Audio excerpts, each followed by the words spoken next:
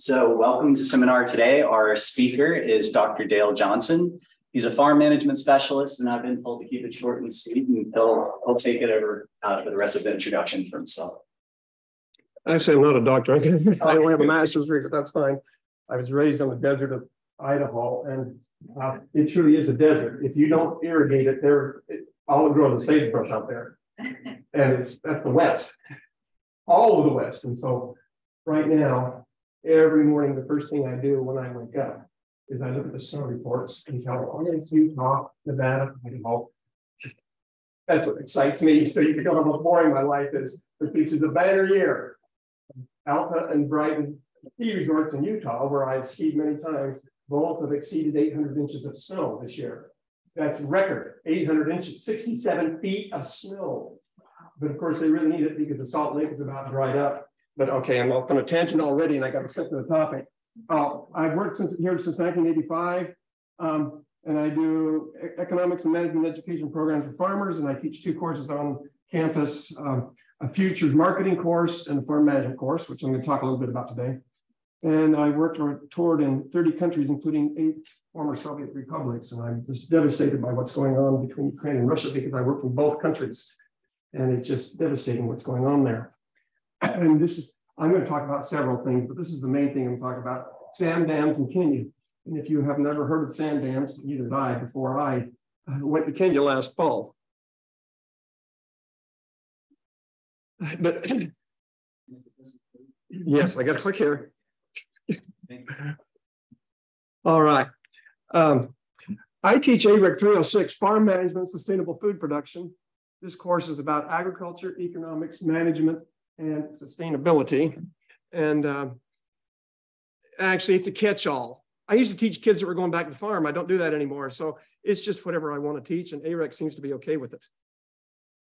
Um, but let me, let me give some short definitions of these four topics that I cover. Agriculture, production of calories, protein, vitamins, minerals, and fiber to satisfy hunger and taste buds for billions of people. That's a short definition. Economics and management, how humans use scarce resources to satisfy their wants and needs. That's a standard definition for economics. But management is closely related. And sustainability, here's how I sum it up. Will the food, and I'm talking about agricultural sustainability here, Will the food production system feed my grandchildren's grandchildren? I take the long view. Now, that's not very useful because I have no idea what's going to happen in my children's life or my grandchildren's life. I mean, things have got to change dramatically. And, and I have no idea. So, so I take the long view, but it doesn't do me any good because I have no idea what it's going to be like. I want to talk about um, um, a little bit about these scarce resources. And in my class,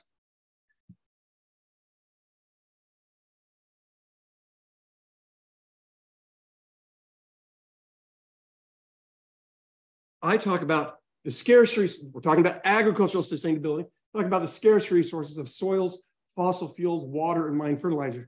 I kind of think these are the critical scarce, there's a lot of scarce resources. These are the critical scarce resources and that could dis really disrupt our food production systems so that we don't have enough to feed 8 billion or 9 billion or 10 billion or 15 billion people in my grandchildren's lifetime.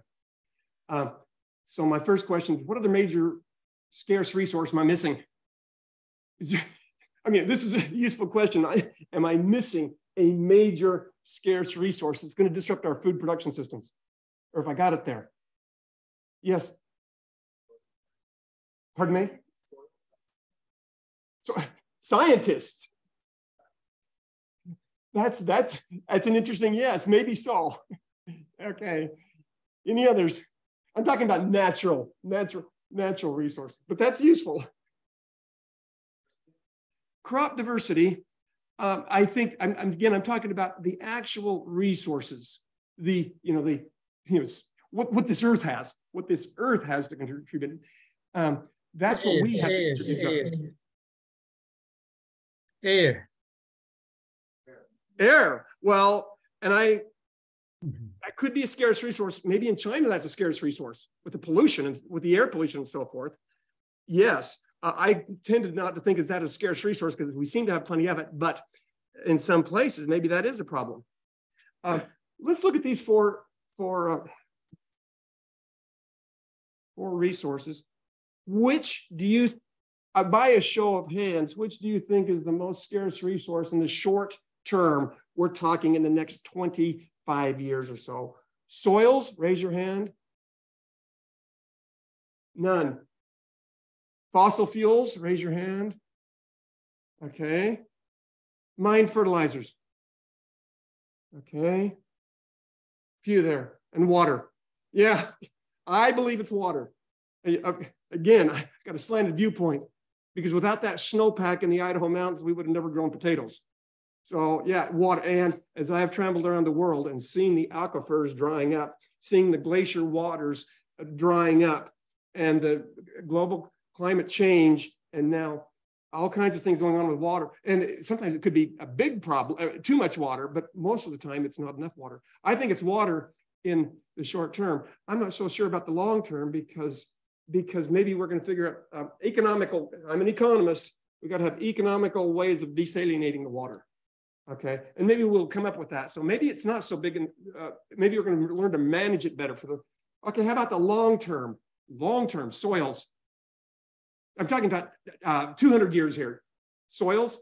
Okay, and I think that's an easy one to think about because with with 2 billion more people, 3 billion more people, we're going to have space for them. So maybe we're going to run out of soils. How about fossil fuels? Okay. I mean, a few years ago, we would, everybody thought, oh, it's going to be fossil fuels because when we run out of fossil fuels, we're in trouble. I think we're showing that we're finding alternatives there. And uh, water, I think we're going to figure that out in the long term. Uh, mine fertilizers. I mean, I, I can't figure out this mine fertilizer business. We have about two to 300 years worth of mine fer- of uh, fertilizer reserves. I mean, plants have to have potassium and phosphorus. We'll figure out the nitrogen, but, potassium and phosphorus. And once we take that, those stores of phosphorus and potassium and we spread them all around, around and they end up in the Gulf of Mexico or the Atlantic Pacific Ocean, where are we going to get it from? So I don't know about that one. This is really not that um, great of a, a, useful discussion, but it, it, it's a little bit interesting. Okay, but what I'm going to focus on today is water. And oh, so my background for what I'm going to say is um, I taught at Daystar University last fall. Very, I've been to 30 countries. I think I saved the best for last. It was just really exciting. And then I'm going to conduct a study abroad program. Uh, too late, you can't get into it for this year, but next year, uh, uh, we're going to have an exciting program this summer in June. Okay, so what I want to talk about is sand dams. I didn't know anything about sand dams before I went to uh, um, Kenya. And these sand dams are sustainable water systems for communities and farmers. All right. And I understand Kenya because it's it's desert. It's they call it semi-arid. The reason it's semi-arid is they got two rainy seasons but the rest of the year there is not a drop. And those two rainy seasons, the water just washes through, and it's like, I mean, mostly it's desert, because during the rainy season, those soils don't. There's no good places to to store the water and so forth. So these sand dams are just very interesting to me to see how they're they're um, making their living circumstances sustainable in the long term by capturing that water. And um, these across the country, these sand dams are built by what they call community-based organizations, CBOs, uh, local people getting together and saying, we have to improve our situation because we're in trouble. Okay. And so this is a grassroots level. And grassroots CBOs go to the government and say, we want to put some sand dams in on this river where all the water washes through. And so the government regulates it to make sure they're in the right spots and they don't put too many in and all of these things. And then the government also provides them with the engineer to do. You got to have an engineer to, to help them do it. The rebar, metal, the metal rebar that they need for the dam, the wire, cement, and wooden forms. The government provides that. The community provides the labor, water, and the community collects the sand. The sand is right there. There is sand in those riverbeds on top of that bedrock. Okay, so they just collect the sand, and you're going to see how we do that, how they did that, and that, and they have to collect the rock. Okay, and so the communities provide the human power to do all this. So what I'm going to do now is I'm going to show you a video of my friend Joshua talking. I first talked to, I first worked with Joshua right before COVID when I was working on a dairy farm in Kenya. Joshua and I had become good friends. Joshua was on a wealthy farm in Africa. It was about 80 acres. That's wealthy in, in Kenya. Had to have 80 acres. Okay. And his father sent him to school in uh, in New Jersey. He went to Rutgers. And uh, his story is very interesting coming over here with nothing in his pocket. He ended up staying here in the United States for 20 years and kind of making his fortune, his own fortune here in the United States. Now he's gone back and he's back to his family farm and he's and his goal is to help the local people.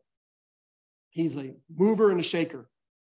And uh, we've, we've become very good friends. We're the exact same age within a month of each other. And both of us just have this shared vision of what can happen to these communities over there. So I'm going to show you a video, and he's going to talk about these.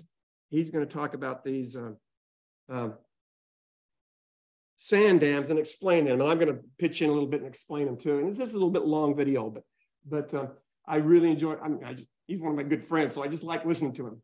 So hope this works out now.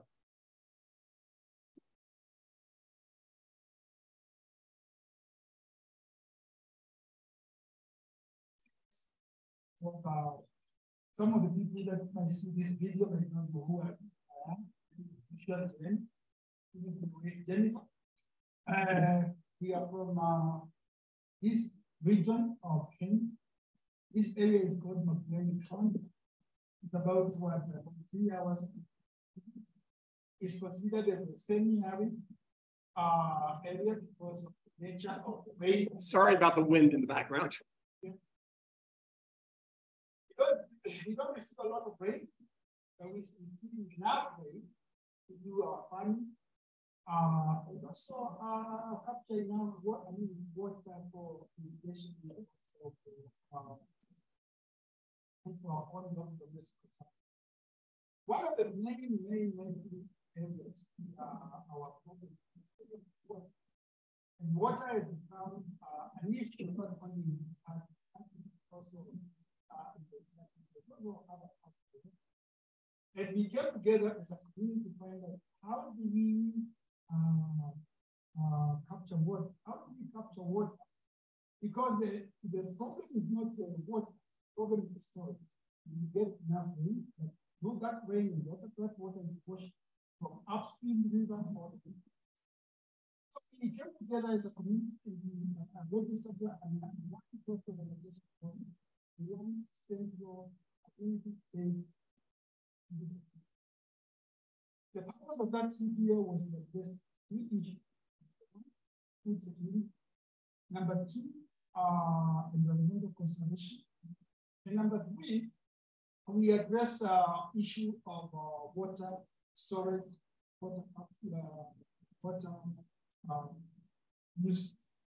So uh, we sat down and we asked ourselves, what do we need what do we need to do as a community to be able uh, to increase the amount of we have. So we decided that one of the best ways to do is that alongside the river. We have this uh, river that is here. It's called the Healing River. And we said we are going to uh, construct center in this river so that uh, capture the water so that the water needs.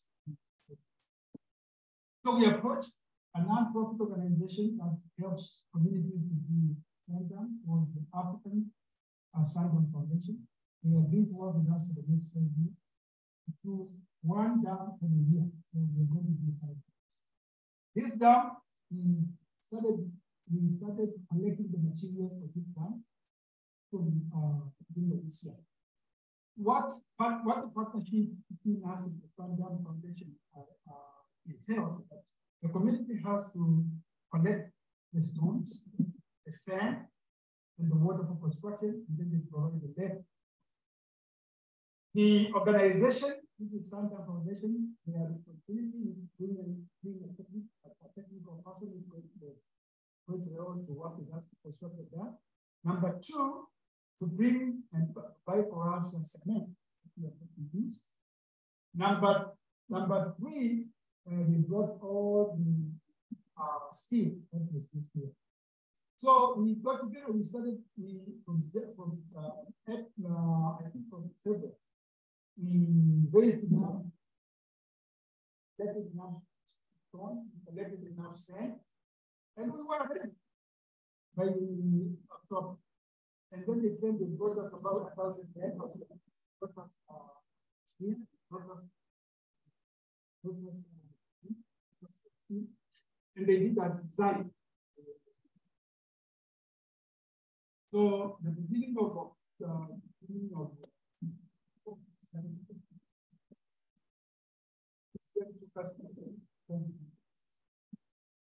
you were here every day, Monday to Saturday, five people. Uh, and,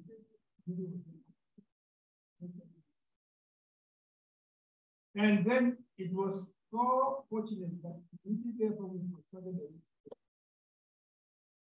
now here we are, the same is full, and uh, water is on the floor.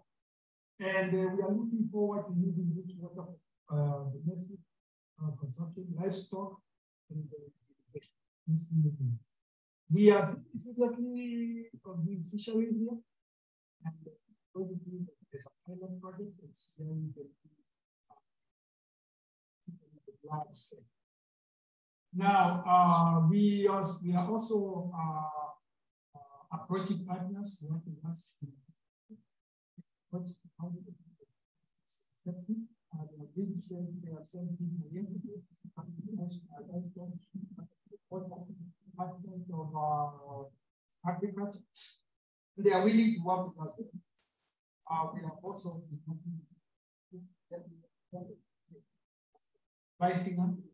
uh, has been very and we are also looking at the other areas uh, well, so another our story, uh, the story of land, uh, this week, this story of the village. We have a population of about 15,000.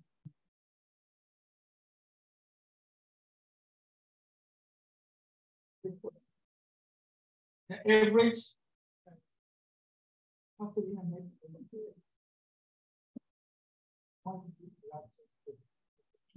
dollar between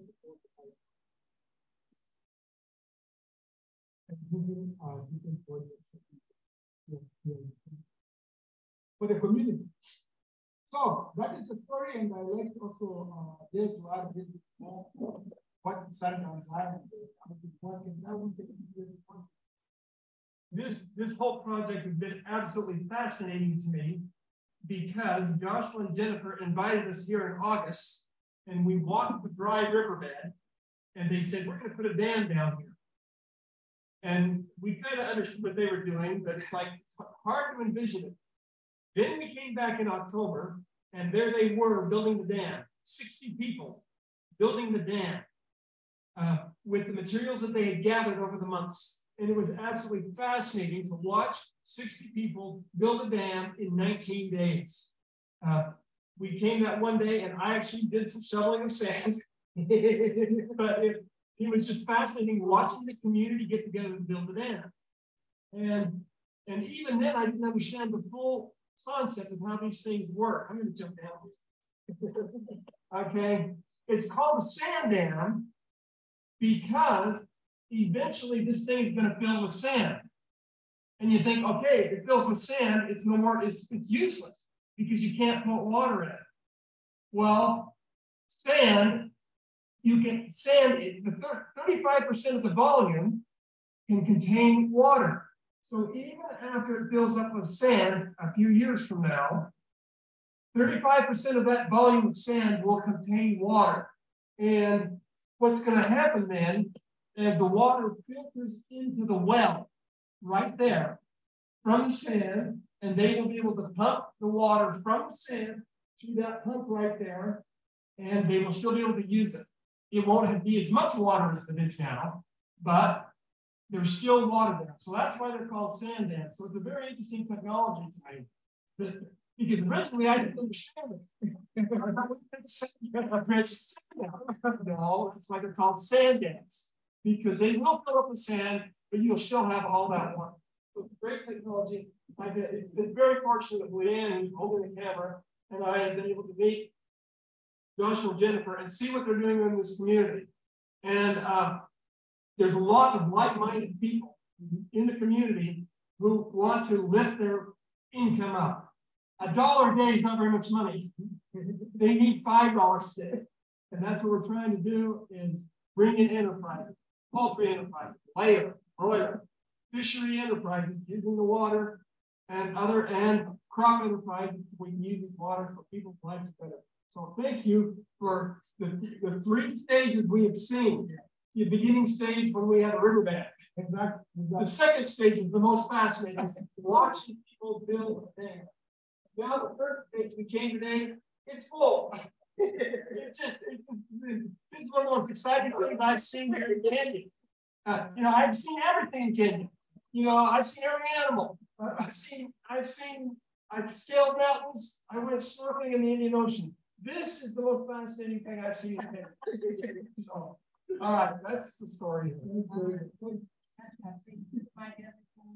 Uh, my name is just really excited to all this. This trip has been transformed. Thanks to God adventure. That's you know, been a lecture time. It can come together and transform to that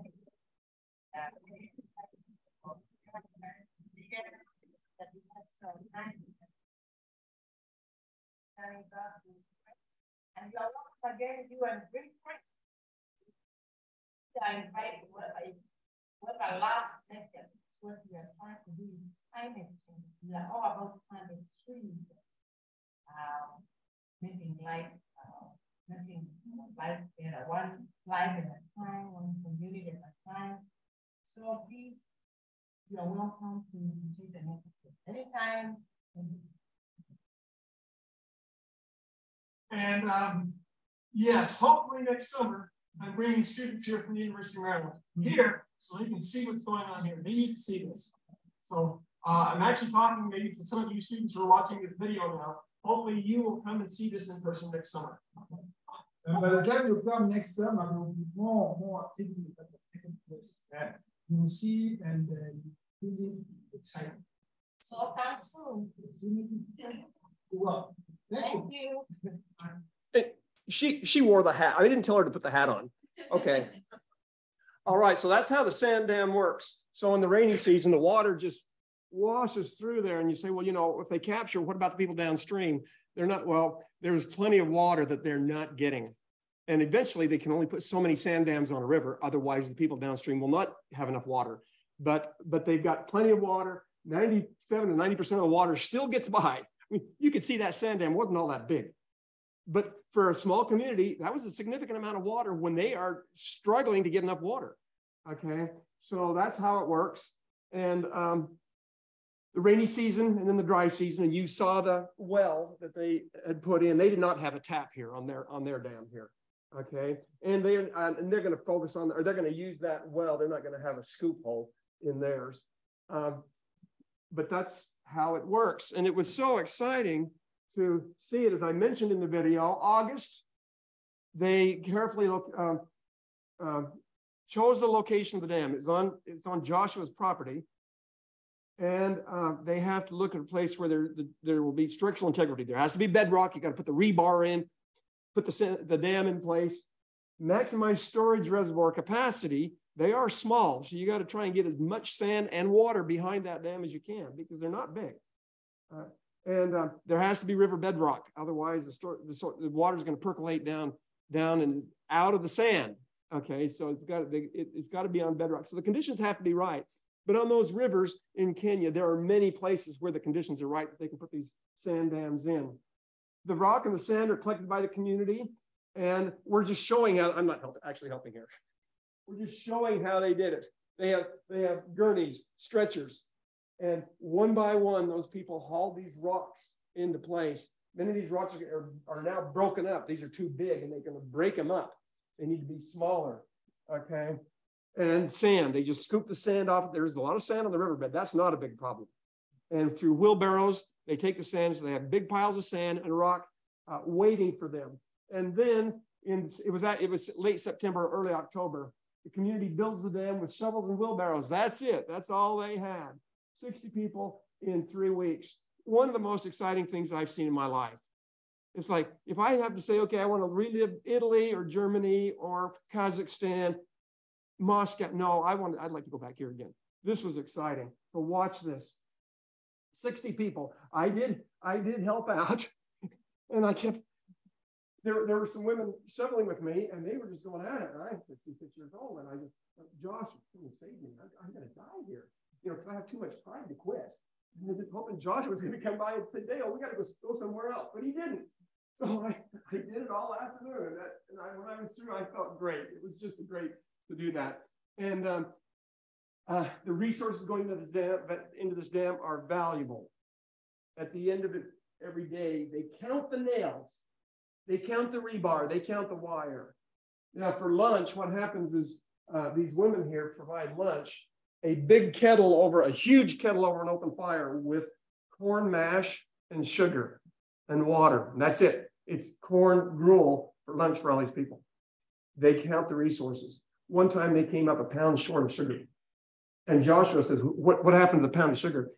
And one of the older women stole a pound of sugar. And these are valuable resources. And he had he made her get up in front of everybody and apologize. He says, we can't be stealing these resources. We got to have them here. That's how, how important these resources are and how they count them. So uh, uh, right here, the men would line up here, and here's a big heap of, con of uh, concrete, cement, sand, and gravel, and each person would shovel 20 shovels over the over the top, and they're throwing the the, the concrete over here, 20 shovelfuls, and then you're you're beat. That's it. So you go to the back of the line to rest, and then the next person, 20 shovels, and you're beat. I didn't get in that line. I could I could not have put 20 shovelfuls of concrete over that over the top of that. I wish I could have done it, but I just I knew I, if I get up there, I'm gonna get one shovel and it's gonna splatter all over the side. So so I I, I didn't get in that line. So so this is a dry river, but how much of the year is it actually how much of the year before the dam was there actually water running in? There's two, two, two rainy seasons in the fall. The rainy season is um, is October, November, and in the spring there's three months in the uh, April, May, April, May, and June. Okay, but the the rains come in and torrential rains, and uh, within a day that river's not flowing anymore. It just washes down, and it's not flowing anymore. Okay. I mean, they just it just washes right down. A lot of rain, but it just torrential comes and washes right through. So these these these these these rivers probably run just a few days out of the year. Okay, and then in then in uh, November we went back and we got to see it full. Okay, and uh, that was just so exciting to see that. Um, full of water and the potential that they have for that. Any questions about sand dams? So when did when did it rain like in relative to like how full this like I'm just trying to think of like how long does the water last in the sand dam, right? Like how long will you have water? Uh yeah. That all depends on how many people are going to draw out. Right. Okay. So and and you know I um we can calculate the acre feet of water in there because it's about, all right, we could actually probably do it right now. We're not going to take the time, but that's probably, it goes up probably about three acres, three acres. And it's, um, you can see how deep it is. And they're actually going to raise the level of this too. So it's really not that much water. Okay. And it all depends on how many people are going to uh, uh, draw the water out of it. It, you know, the first rain probably came down and filled the quarter quarter of the way, and then a week later, another torrential rain, and it filled pretty fast. Okay. And then the future, well, the Ability Central CBO, that's the organization of these people. Um, they're going to build four more of these dams, a couple of them on Joshua's property, and then on up the river. They're gonna build, so they're gonna have five dams for this community of people. I would say probably a thousand people are gonna benefit from the five dams. Okay, and it's gonna be used, and, and that water is gonna be rationed out very carefully. Very, just like the sugar was rationed out. Okay, it's gonna be used for households because right now they have to buy water and um. Water is just is the scarce resource. And they're gonna, and I thought, what on earth? They're gonna put fisheries in? This is desert. But no, they could, uh, they've got, they can put things over the surface of the water so it's not, there's not very much evaporation. And they're gonna put tilapia and catfish ponds in, a pond maybe uh, not quite the size of this room, smaller than this room. Just enough to earn these people three to ten dollars a day. Okay, that's a huge fortune for them to earn three to ten dollars a day off of a small fish pond. Okay, or uh, a small scale broiler or layer operation that Joshua and I are trying to put on these subsistence farms. You know, a hundred broilers or uh, six or seven flocks a year, or a hundred layers will get them three dollars a day. You know, if they if it's a good farm they can handle five hundred, that'll get them fifteen dollars a day in income. And if they want to if they want to put in three thousand birds because they can they've got the resources, well, that's your business. That's not what we're about. You know, we're about trying to help the subsistence farmers. And then drip irrigation for oil and feed crops, sunflower, they're going to grow sunflower for the oil, and then that, of course, the oil, sunflower oil meal, sunflower meal is a good protein feed for the for the these these broilers and for the fish, and uh, more uh, a more more emphasis on sorghum, sunflower and sorghum, drought resistance crop, and and uh, drip irrigation to uh, grow those crops. I think I'm just about through with sand. Any more questions about sand? Yes. Yeah, very good. Yes, the sand is a filter. Yeah. Mm-hmm. Uh, but it, they tell me that's what it looks like all the time. Now, I was on another farm and they had another reservoir like this, and I saw two Maasai women come from the Maasai tribe. And that, that's one of the most famous tribes that we've all seen in Africa. Two Maasai women came down with um, with um, 20 liter jugs and they got their water for the day and it, the water looked like this and I and we asked them I said now do you filter this? Oh yeah we run it we run it, it through fabric to get that sand out. Okay but it's it probably still I mean there's a lot of suspended clay in there and they're just going to drink it you know? That's the way they do it. Any other question I saw another hand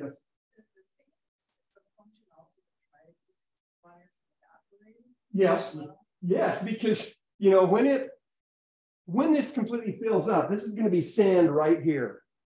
Okay, it's not going to evaporate. Once the once the water is suspended in that sand, it's not going to evaporate. I mean, you know, yeah, you get that top six inches of sand where it's going to dry out, but that's going to help out a lot. And then in some of them, you can see that they actually plant plants in there. Okay, plant plants don't take a lot. They want the plants to take all the water. They're not going to put any deep rooted plants in there to take all that water but plants on the surface that are going to um, form a barrier. At, you know, then they're going to die in the dry, dry season, but they form a barrier for, for evaporation. I saw one more hand. Yes. Uh, dams in general are known by altering ecosystems and affecting wildlife. Is it something expected for these type of dams? Pardon me? They're going to have some effect uh, in, in the ecosystem. In the ecosystem. I mean, they're so small that there's not a big effect. Now, locally, locally, in this just little area right here, that's a, they changed the ecosystem of that little area right there. It's three to four acres. Okay, but it makes it nice because, you know, there is a place where there's water there. And um, I'm not, made me think of one more thing. Oh, finally, I realized, you know, this is, we're not making a sand and we're making an aquifer. This is just a little aquifer. Uh, that's a, a, a more interesting way to characterize it. Any other questions about sand and yes? I guess um, just so, so the fishery ponds that's gonna be somewhere else. Right, the fisheries are going to be right next to these ponds. The people who own the land right next to these ponds are going to put the fisheries in. And of course, they're going to they're going to regulate those very closely. They're not going to put very many. That takes you know a pond half the size of this room does take considerable amount of water when you consider how big these are. Okay, but uh, they can grow a lot of catfish and tilapia in those ponds. They stock them heavy. And they can grow it, and that's really great protein for them. Okay, So I'm going to uh, switch gears just a little bit. So talk about my study abroad program in Kenya. So some of you might want to go in 2024, if it works out in 23. I think it's going, I have my students, I, I, think it's going to be a great program. Um, the, the, the, it is sponsored by AREC, Department of Agricultural Resource Economics.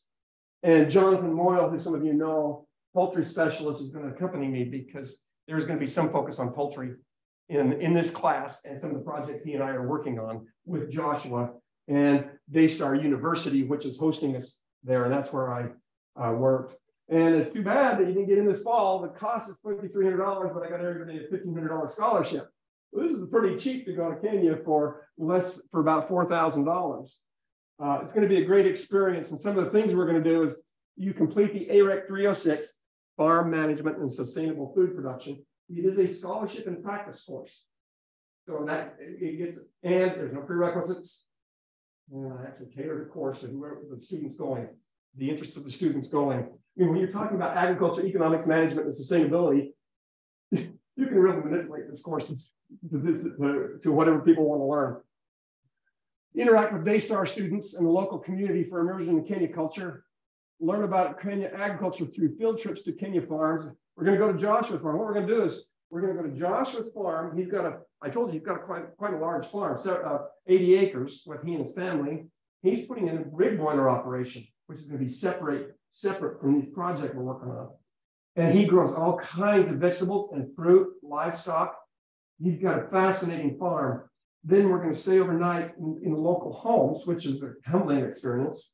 And then the next day, we're going to help build, uh, help build the sand dam. Uh, so yes, I'm going to shovel sand again.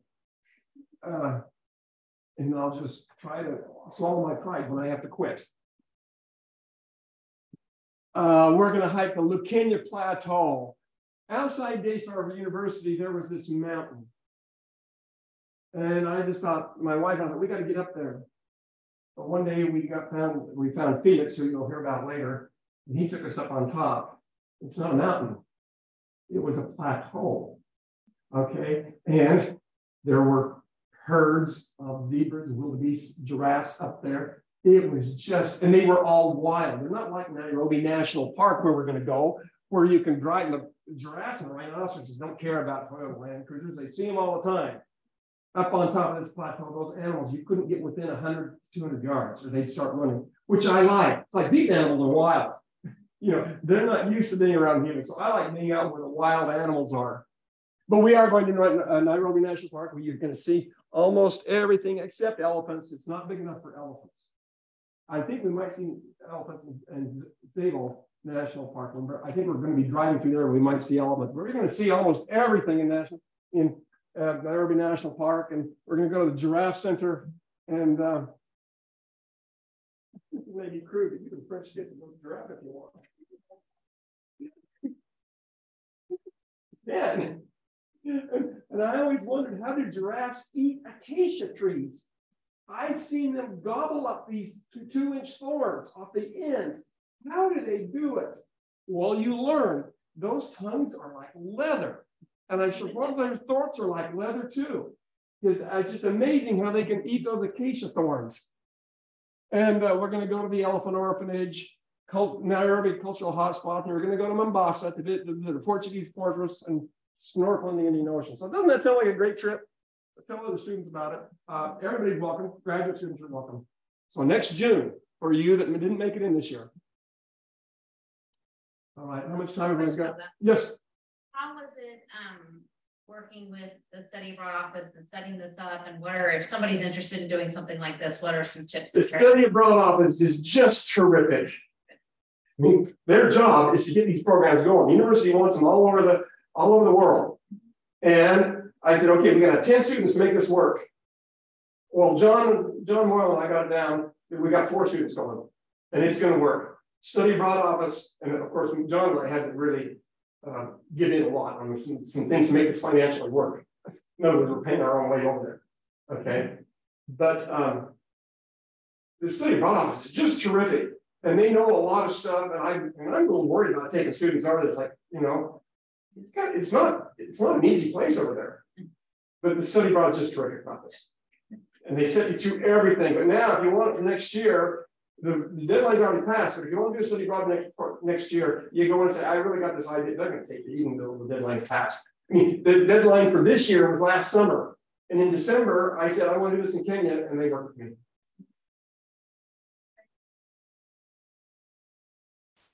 We have time for this. Subsistence farms. I got time for this. So, subsistence farms dominate agriculture in Kenya. They're less than five acres for a family. Now, if it's five acres, it's usually uh, two or three generations of family. That's a big farm, five acres. Okay, maybe a medium sized or normal sized farm is two to three acres. All right, they grow maize, potatoes, sugarcane, fruits, and vegetables. It's subsistence. They they live off of this land. They have a few cattle, goats, and chickens for protein. Uh, most of it is for personal consumption. Dollar a day in sales is common. You know, under $500 a year in income. They, they simply don't have any purchase things. They, you know, they just grow their food. They purchase some clothes, or they probably purchase materials and then hand sew some clothes. No money for inputs or capital improvements. Women are an important source of management labor on these farms because it, it, in Kenya, it is easier for men to find jobs than women. And so the women take over these farms. Most of these, these CBOs, the community-based organizations, 70 to 80% of the membership is women. These women get together and say, we got to we got to do better here. We got to help each other out. We got to learn from each other. And they're very good managers. So it's exciting to watch them work together. So what we're trying to do is we want to establish small scale agriculture, aquaculture enterprises on these subsistence farms. We want to increase their income three to $15 a day. Like I said, 100 layers will get you $3 a day. I'm an economist. we worked all this out. 500 layers will get you $15 a day. A pond a tilapia catfish will get you $5 a day, $5, $10 a day, depending, depending on the size of the pond. We're going to create jobs through product, uh, producing, processing, and marketing products. Uh, adopt drought, drought tolerant crops, specifically sorghum and sunflower. We need to get more of those, more sorghum and sunflower into those for feed crops for these enterprises. And the oil from the sunflower is, is a high value uh, product. And particularly focus on farms that are operated by women. We're focusing on the farms that need it the most, but also have the resources to do it. Okay. And of course, they, they, they I don't understand it, but they're importing pol uh, uh, poultry meat and they're importing eggs. They don't need to. From Uganda, Tanzania, they can do it themselves. And so we're going to get local uh, poultry products and um, aquaculture products into the consumer, into the consumers. So uh, we're going to develop the markets for this stuff. And then I just kind of talked about all this. We're, we're going to build um, they're, they're, this particular organization is building, going to build four, uh, four more dams, one each year. Okay. And uh, we established these small scale enterprises the community, the, uh, the community-based organization complex. There's going to be a complex, which will be to have the abattoir, the slaughterhouse, for processing the birds and the fish. Feed processing plant where we bring in the sorghum, sunflower, and other um, uh, crops and uh, sort, sort feed sources. And we're going to make it a good quality feed. You know, we're going to try to balance the feed for the poultry and for the, the fish. And of course, this organization has got to um, develop the markets.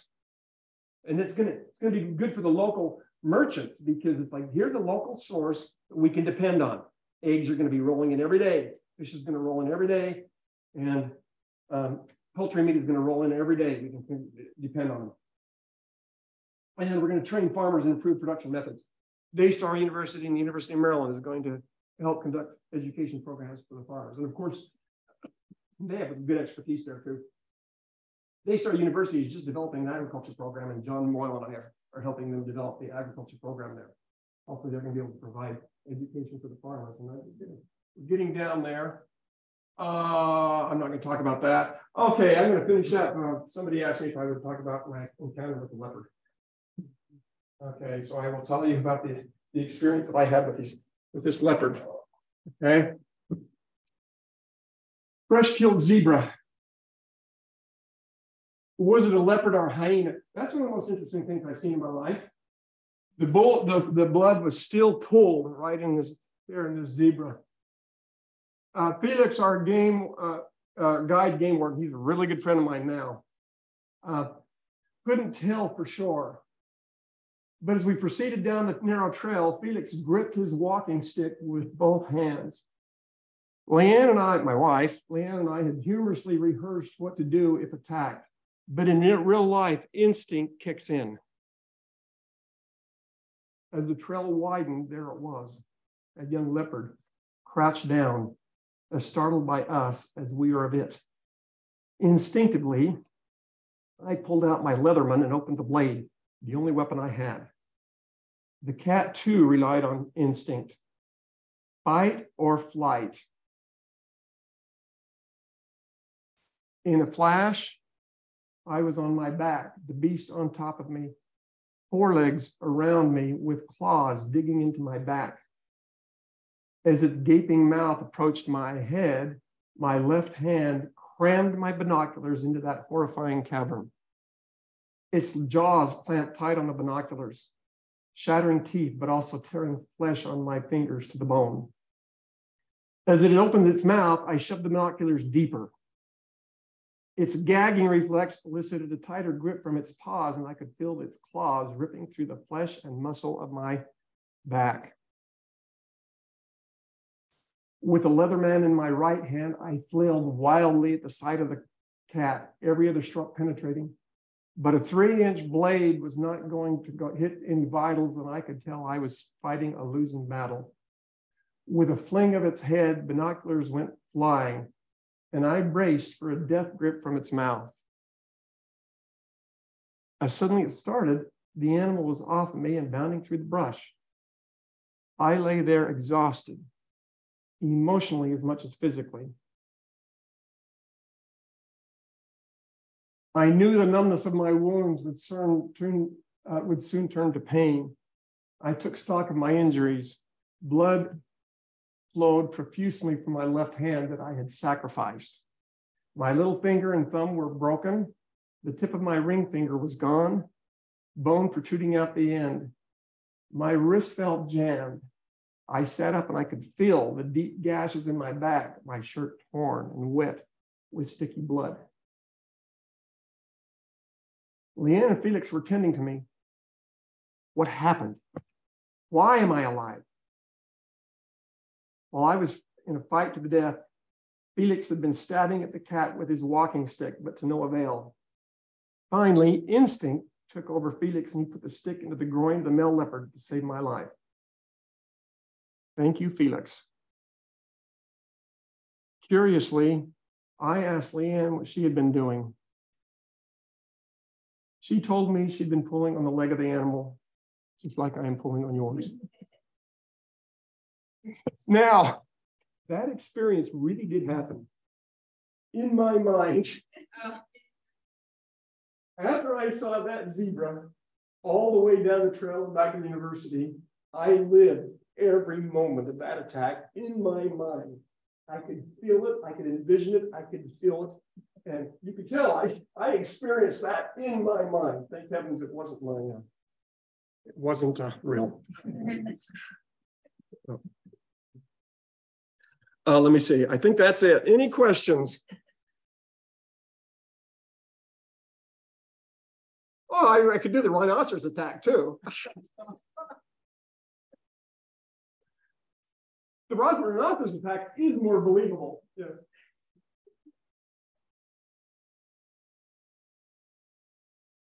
Yes.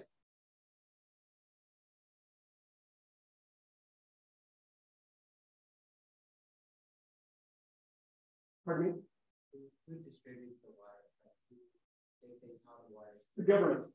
The, the government dictates uh, how many sand dams can be in and, and generally where they're going to go. Joshua talked about the Sand Dam Foundation. It's actually a quasi government agency. Okay, it's very well connected to the government. But it, it, but it also gets a lot of resources, uh, through Bill Gates Foundation and so forth. Okay, so, and I think it does get some government money, but the, but the government ultimately determines how many, how many sand you can get put in because. You know, on one of these big rivers, you could put in hundred sand dams. We gotta make sure that they still get the water downstream too. Because that, that water is used during those short periods of time. So. Any other questions?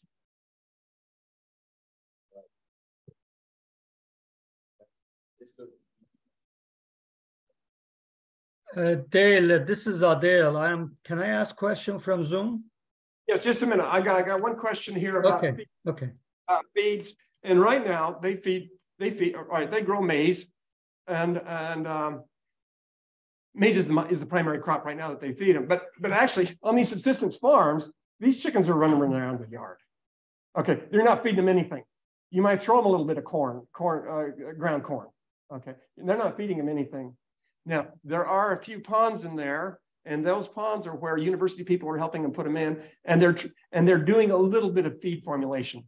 Okay, I mean, so, and they're just taking the local uh, ingredients that they, that they have to try to have some formulations of feed. But right now, there's not much feed formulation. It's just, you know, whatever you got there, that's what you're gonna feed them. That's what we want to try and improve, you know, get better, more drought, drought tolerant crops, increase yields, get crops where we can get some protein, better protein and calories into those animals. What was the question from Zoom? yes, that, that's me, Adele. Hi, Dale. Uh, Hey, uh, what a great experience. Thank you for this excellent presentation. And, uh, you know, one thing that sort of uh, struck my, my interest was the drip irrigation. And looking at the water uh, behind the sand dam, looking brown, I was wondering if they have for future plan for drip irrigation, what would be the potential for emitters being plugged by the, you know, suspended solids and particulates and so on, using that kind of water, or, the, or were there any plans sort of filter it out? Um, if it passes through the sand dam, some of it, I'm sure it can filter that out, but then that has to be stored and pumped into the system. Anyway, that was that was something came to my mind. Plus, you know, how how can they afford drip irrigation as an initial investment? Does government actually help with that with that aspect of it? Excellent question, because first of all, it's got to be drip irrigation because you saw the side of the side of the sand dam. It's not that much water. So if we got to water sunflower and sorghum, which are drought, uh, you know, they don't need a lot of water, but they got to have water. So it's got to be drip irrigation. Now, the drip irrigation could be drip, drip, drip. Okay, because the there's plenty of labor. Okay, because we there's not going to be the resources to put what we call drip irrigation in with tubes and and and spigots and so forth. You know, there um, and with their type of drip irrigation from a, from a kettle, you don't even need to filter it. So we have to think in terms of drip irrigation in Africa is very different than drip irrigation here. But that's what it's got to be. I mean, you give every plant the precise amount it needs that week or that few period, few days, so you're maximizing every drip of that water. Any other questions? Yes. I think one that, that, uh, maybe someone's trying to get at is the idea. There's been an arrangement to build a dam, and now there's some water. Uh, and there's a lot of people interested in using it. How do the decisions get made at that point? Does Yes. Go to aquaculture, which is water intensive, or some of these. Very good. And that's where you, you go back to these community-based organizations. And usually these community-based, community-based organizations are formed by some people who are, are dynamic, charismatic, and they organize, I'll give you the example here, Uvalani, Cen- uh, uh, Central Community-Based Organization. Uh, about hundred people in this organization, about seventy to eighty of them are women. Joshua is leading it up. They all get together. It's very much a democracy. And now Joshua says, you know, I'm going to furnish the land. This is on my land, but we're going to help the local community. How, who's going to get this? Okay. How, uh, it's going to be the community-based organizations. And the government recognizes community-based organizations. They went to the Sand Dam Foundation, and says, here's a community-based organization. This is the village. These people are all um, uh, of one mind of what we want to do. This, there's going to be some conflicts. It's like some person's not going to end up with chickens that want them. It's like you're not ready for them yet. you know, you just simply don't have the resources to do this. Or we've got to do it. So it, it there's going to be hard decisions. So, so um, you need a little bit of democracy and a little bit of a benevolent dictator to make sure that all this works out. But it is through these community-based organizations that they're doing this across the country.